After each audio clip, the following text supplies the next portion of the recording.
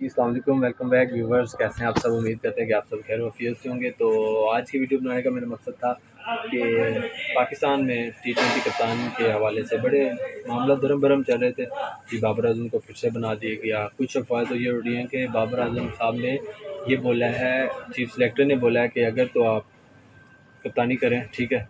तो बाबर आज़म भाई ने कहा, जी, नहीं, मैं करूँगा तो तीन करूँगा, नहीं तो नहीं करूँगा। सबसे पहले ये फेक न्यूज़ है हमारे पास भी ऐसी फाख्ता है, जो हमें खबरें देती है अपडेट देती है। अल्हम्दुलिल्लाह, मेरे पास इस चीज़ की प्रूफ है कि क्या कन्वर्जेशन हुई है और बाबर आज़म की क्या डिमांड थी। देखिए, वो एक सीनियर प्लेयर है, अगर तो उन्होंने उनको ऑफ़र किया है तो अगर रिजेक्ट करते तो भी आपने कहना था कि यार, इसने क्यों रिजेक्ट किया? और पहली बात तो शायद यहाँ पर दुख नहीं होना चाहिए। क्यों?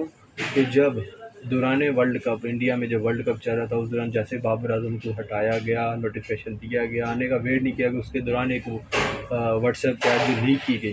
क्योंकि पाकिस्तान को रिप्रेजेंट कर रहा था, इंडिया में जा गया वेट कर लेते दो चार दिन का इंतज़ार करते, जब वापस आते, बैठ के मीटिंग बैठाते तो इस चीज़ को आप इम्प्लीमेंट करते, लेकिन उन्होंने क्या तरीका किया? और जब शाहीन अफरीदी को रातों रात एक ऐसी कप्तानी दी गई तो शाहीन अफरीदी को बेहतर से पता था कि ये जैसी कप्तानी है, ये वैसे जा भी सकती है।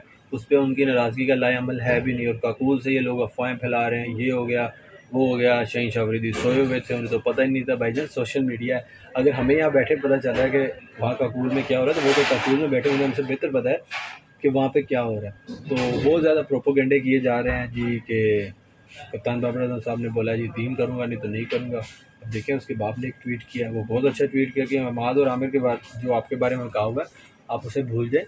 वो आपके सीनियर प्लेयर आपने उनकी रिस्पेक्ट करनी है। यार वो ऐसे माँ बाप का बच्चा नहीं है कि जैसे हम लोग ये फुरकान भट्टी साहब हैं स्वेब जट साहब हैं कुछ लोगों की ना दुकान ही सही बताऊँ बाबर आज़म की वजह से चल रही है। कुछ का ट्रोल करके कुछ का मेरी तरफ़ से सीधी बात है फेम करके। मेरे पास आ, ऐसे लफ्ज़ नहीं मैं उनको बोलूँ। अभी मेरा वो एक लेवल नहीं बना कि मैं उनकी वीडियो से टैग करूँ, उनको बताऊँ कि यार बाबर आज़म आप टी ट्वेंटी आप देखिए वर्ल्ड कप कौन सा टी ट्वेंटी का वर्ल्ड कप है।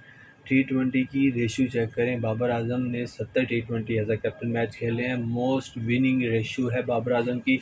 बाबर आज़म को एक और टी ट्वेंटी मैच जीतना है। वो टी ट्वेंटी की हिस्ट्री के सबसे अच्छे कप्तान साबित हो सकते हैं। इंक्लूडेड एम एस धोनी, कि एम एस धोनी साहब भी इतने मैच नहीं जीत सके बाबर आज़म के मुकाबले में। सिर्फ़ एक मैच जीतना है फोर्टी टू मैचेस वो जीते हैं। पाकिस्तान में सबसे ज़्यादा T twenty most successful T twenty captain ठीक है? तो रही बात दूसरी, इमाद और बाबर, उस पर हम एक अलग से वीडियो बनाएँगे। ये सिर्फ़ और सिर्फ़ मेरी वीडियो थी, मेरे कप्तान जनाब बाबर आज़म के नाम। देखें आई रिस्पेक्ट मैं भी नहीं चाहता था।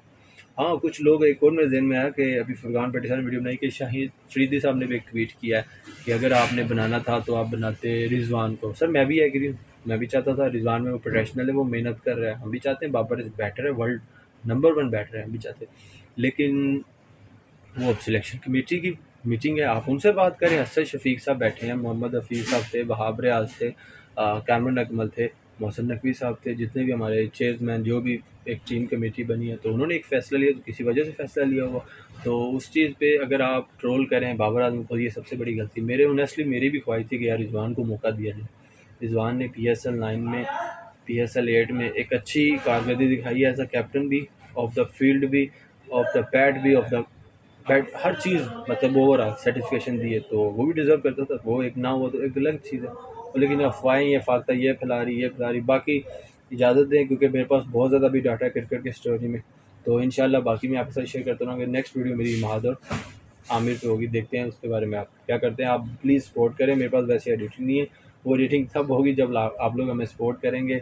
जितना आप व्यू मार्जिन करेंगे इन अल्लाह मेरी भी अर्निंग स्टार्ट करे। जब अर्निंग होगी तो आपको पता है आहिस्ता ऐसे होता है। पहले दिन से तो नहीं इतना होता, ना इतना माम, पैसों में मामला ना दिमाग में कि यार एडिटिंग प्लान्स होते हैं, उसके लिए आपको पता है थोड़ी इन्वेस्टमेंट ख़र्चा। तो मैं खुद एक जॉब होल्डर भी हूँ, साथ मेरा घर भी नहीं है रेंट पे रहता हूँ फैमिली और भी क्राइटेरिया मामले होते हैं, उन चीज़ों को भी लेके चलना, साथ ये काम भी करना तो मुश्किल होता है। ये कि जब अर्निंग स्टार्ट कोई भी बंदा जब स्टार्ट होता है ज़ीरो से स्टार्ट होता है तो इसमें शर्म की बात नहीं है शेयर करना, अपना मामला बताना कि ज़ीरो से स्टार्ट करने के बाद ही कुछ ना कुछ आपको आना शुरू होता है।